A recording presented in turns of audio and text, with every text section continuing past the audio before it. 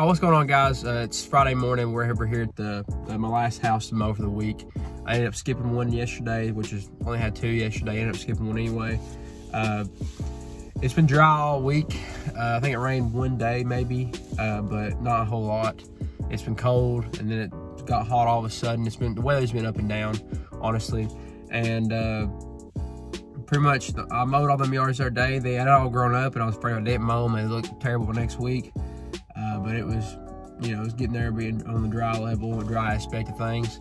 Uh, probably could have skipped them; they've been okay. Uh, but some areas were definitely grown up, and some not as much.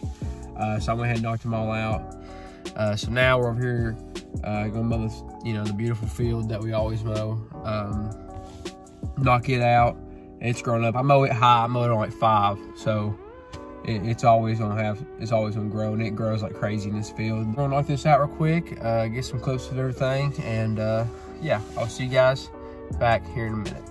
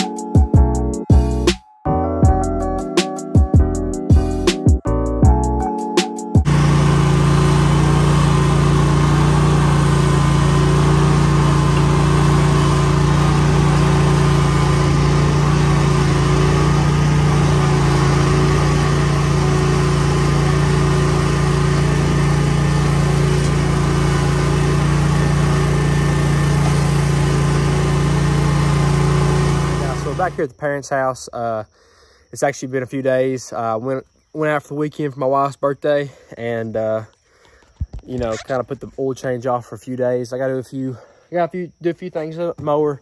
Like I said, oil change. I uh, need to change the blades out. I might do that. Might do that today if I have time.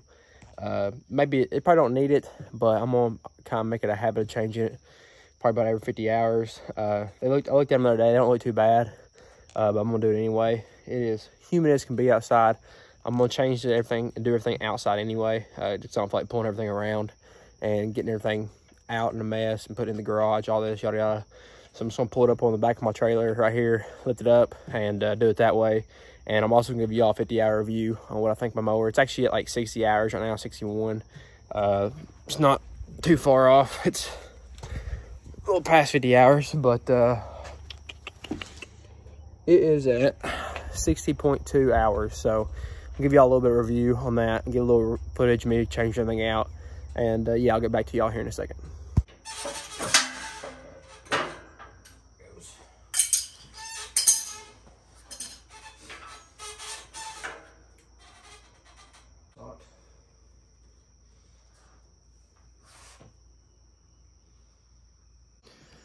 All right, guys, before I get my 50 hour review, uh, if y'all don't mind, please go down and hit the like and subscribe.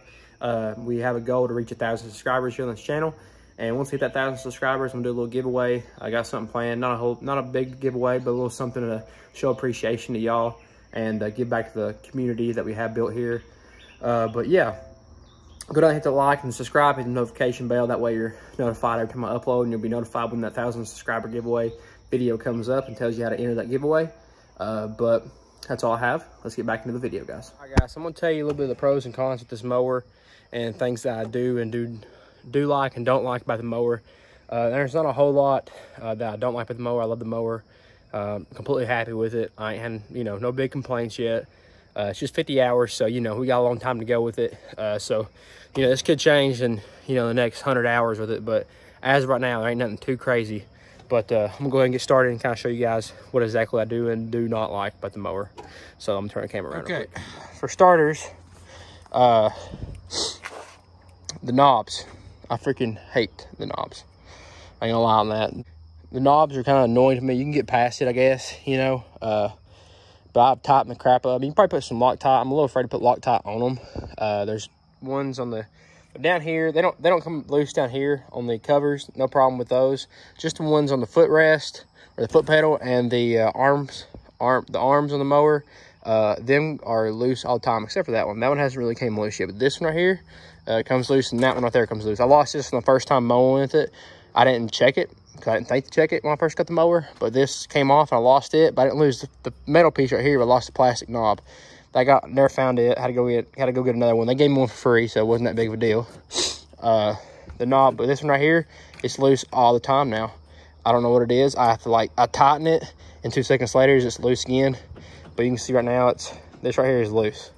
Like it's locked in, but that is loose where you can adjust it. So I'm going to get some uh, lock washers, lock nuts, uh, do something different besides using these knobs for these because this this come loose too much and it's kind of a annoying thing. Uh, something small, you know, you can easily fix it by doing something else instead of using the knob. So not a huge, you know, you know, con, but a little something there. Um, the next thing I want to talk about is the uh, the bumper. Obviously, uh, they got ripped off uh, pretty easily.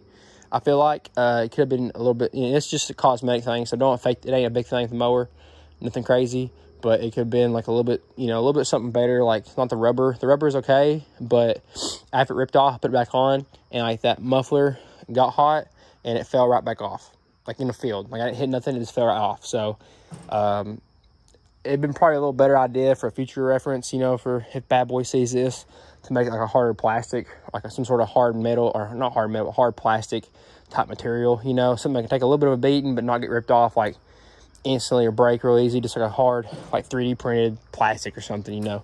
Something like that would have been, you know, great. Um, third thing, which is, okay, third thing, which is kind of a big deal, is the uh, the way it handles the heel, which I had somebody comment on my video and say it was the Hydro Gear uh, uh, pumps that I have on this on this mower. Um, I would show them to you, but they're kind of pain in the honey to get a look at underneath the mower. Um, the hydro gear thing, uh, the hydro gear pumps, that says the reason don't handle a hill too well. If it's on like the littlest slant, I avoid a lot of different types of situations with this mower just because I know that it would probably go down a bad way. Like it would probably slide down, I get stuck. So I end up doing a lot more weeding sometimes just because I don't want to take it in a certain area unless I can get full speed around that hill or going up it or going side of it, get full speed. It, it, you know, I have to like it has to be one of those situations for me it on a hill, but it will give on a hill. Uh, not really sure. Sometimes it handles a little better than other times, but there's times where I can really tell the difference between a Scag and this mower, which, I mean, obviously a Scag is like probably five more grand than this mower, but, you know, they have like, Par I think they have Parker uh, hydraulics on them, but just don't handle a hill very well.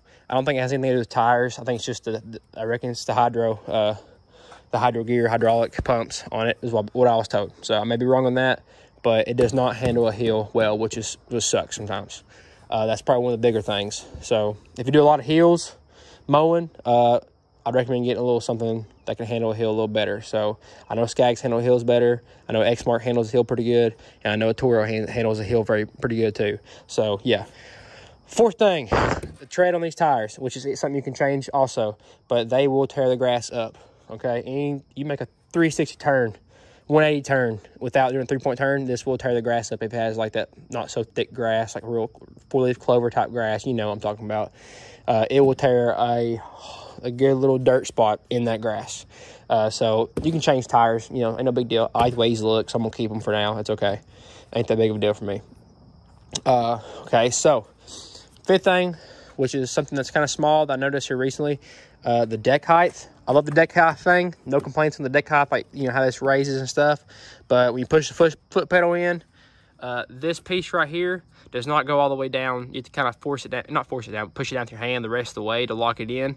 Uh, it, used, it used to just fall into place, but I got rained on one day and it kind of, I don't know if it just kind of stiffened it up a little bit. Maybe just need a little WD-40, nothing too crazy. But that right there is kind of nothing big probably could fix it easily if I looked into it. But sometimes it just don't go all the way down. I have to kind of push it down with my hand. Uh, I did it a few minutes ago and it went down just fine. But there's days I'm mowing and it just don't go down. Not a big deal. Something little, you know, probably could fix it with some WD-40, some oil or something to spray it down with. Okay. Not a big deal. Uh, let's see. Uh, another little thing is these little uh, hydraulic oil uh, tanks, I guess you say. Uh, they leak a little bit. I'm not sure if it's like that on every other mower, but they leak and they you get a lot of. You can kind of already see where I cleaned it off, but this whole top part be covered in like dirt and dust and stuff where that hydraulic oil leaks out on top of there. On both of them, it does it. Uh, not a big deal. Something little you can clean it. Uh, these are these are they're they're tight too. I'm trying to check them. They're tight, but I guess just one of those things, you know. Um, let's see, you get a lot of debris stuck behind the battery in this little wall right here. A lot of debris stuck there. Something little, you gotta clean that out every so often. Uh, sometimes you smell fire burning from a stick on the back side of this muffler. Nothing big on that. Uh, I had a little fire cooking behind me one day. I was like, man, something's burning. I turned around and got a stick on fire. Not on fire, but it was about to be back here on this muffler. It gets hot. I put a sticker back here um, that was a mistake by me because it peeled off within like 15 minutes of mowing. So I'm to get me another Tennessee sticker to put on the side. You know, I'm sure there's to be some hate on that, but definitely need a Tennessee sticker on the side of this mower, you know, make it look better. You know, anything Tennessee makes a mower look better. So, um,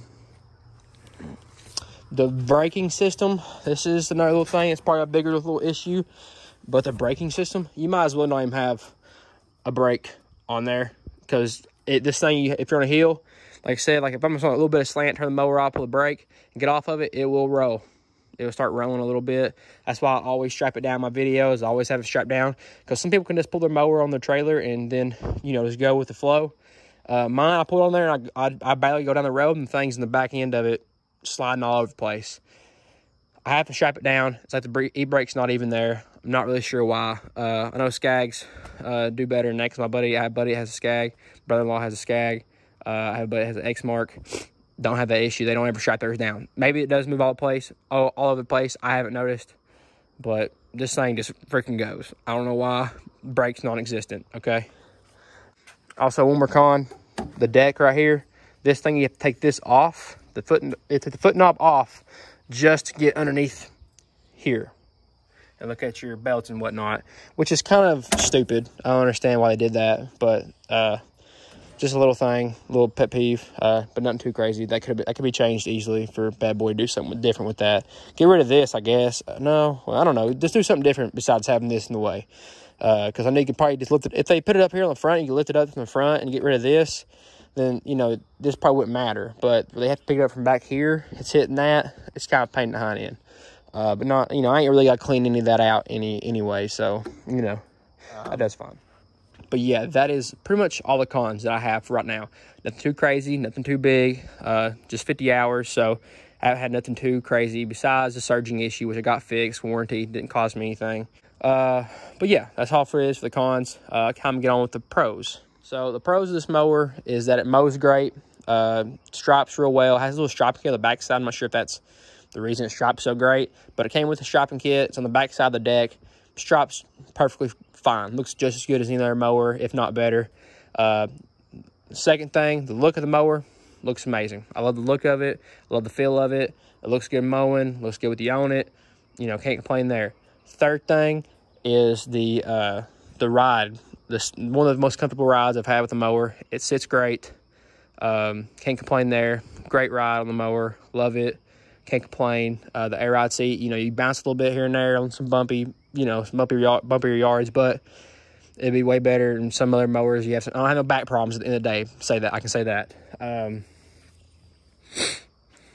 the next thing, uh, gas-wise, does great on gas. No problems with that. I feel like it. I can mow a lot with the full tank. I think it's about five, six gallon tank. About six gallon tank, I, I say. Um, I still love the deck height uh, thing. The knob, it's great. I, would rather have a knob than the pen, to be honest with you. Uh, it's just easy, convenient. The pen's kind of got to pick it out, put it in the hole, which it ain't too bad either. But I, I do like the knob height thing, so deck height. Uh, it's just convenient, easy. Um, no complaints underneath. Nothing's falling apart. Uh, no problem with the tires yet or the bearings inside the, the front tires. Had nothing big problems with the mower. All, all in all, I can say it's been a great mower so far. Uh, I would recommend getting one if you want one. It's not a, not a terrible price point. Good good starting mower. Uh, good mower for really to have in general for any business. Not even a starting mower. It's a good mower to have. Um, there's better mowers out there. There's worse ones out there. Uh, just depends on what you're looking for and what you want. But you know, if you want a mower that mows good, feels good, looks good, uh, this is probably a mower for you, and I recommend it for you to get it. So also, I never got to clean out underneath there either. These don't ever get debris underneath those covers. That is great. Uh, it doesn't get a lot of dirt or a lot of grass trapped underneath the deck either. They got clean out. I looked today. There little pieces here and there, but nothing crazy. Um, it's nothing too nothing too crazy there. Uh, but yeah, I ain't ever got clean anything underneath the deck. Hardly ever. There ain't a whole lot of grass that builds up underneath there, underneath them covers, underneath that, underneath the seat. Just random spots you'll find grass there, here and there gathered up. It's clean out, but nothing too crazy. One more thing that I forgot to add that this mower does is that it does not bog down. Uh, at least I haven't had it bogged down yet. And I've mowed wet grass. I've mowed some thick grass that was wet also. And I haven't had it bogged down yet. So, has 27 horsepower Kawasaki motor on it. Uh, so, I mean, no complaints there. Does not have an issue mowing through some thicker grass. Uh, so, there's that. If you ever, you know, if y'all mow a lot of fields or anything like that, or high, high grass every bi-weeklies or anything like, anything like that, it doesn't have a problem doing that. Uh, it cuts through just fine. Uh, so, there's that. But yeah, guys, that's pretty much it for this mower review. It ain't a whole lot of stuff going on with it. You know, like I said, few pros, few cons. Uh, but all in all, it's a good mower. I recommend to anybody get one. It's good price point. Uh, ain't too overpriced. Uh, there's a lot worse worse mowers out there. There's a lot better mowers out there. Uh, you know, depends on what video you're watching. So, but you know, gonna come here, you get an honest review from me. Uh, I love it. You know, would I buy it again? Yes. Uh, would I get a, a, Scag or a Toro or a, Spartan or Exmark or any of those mowers, yeah, I get one of those. I wouldn't mind trying John Deere out too. I'm down for anything. Like I said, really what it comes down to to me is the cut and how good it looks mowing. Uh, not good it looks, but how how good it looks mowing like the grass, the grass, how good the grass looks. Um, as long as it mows good and cuts through and doesn't bog down a whole bat like a lot, it's like that, uh, then we're good. This, this is another thing. This one don't bog down either. I had no problems with it bogging down. Wet grass, thick grass, I had no problems with it yet. It's 27 horsepower Kawasaki mower, so a motor, so all in all good but yeah, that's pretty much it, guys. I'm gonna change these, to change this out, and uh, try to change these blades out uh, if I can. If not, I'll worry about it next week. Uh, but yeah, that's pretty much all I have, guys, for this video. Hope y'all enjoyed. If y'all did make it through the video this long, please go down there, hit the like, subscribe. If you want to see more of this content, uh, hit the notification bell so you're notified every time uh, I upload a video. And uh, leave a comment on any future video ideas or any questions you have about the mower. If there's anything I left out that you think that should be in this video, please let me know and I'll put it in the next video and talk about it and put your comment and uh, mention you or something like that in the next video. Uh, but yeah, that's all I have for today, guys. Hope y'all have a good week, good weekend, whatever it is for y'all. And I will see you guys in the next video. Peace out, guys.